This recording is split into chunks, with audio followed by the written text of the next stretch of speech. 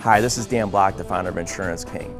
The reason why I started the agency is because I wanted to help young drivers save on car insurance. When I was 18 years old, I was kicked off my parents' policy after a car accident and found myself paying almost $500 a month for full coverage insurance.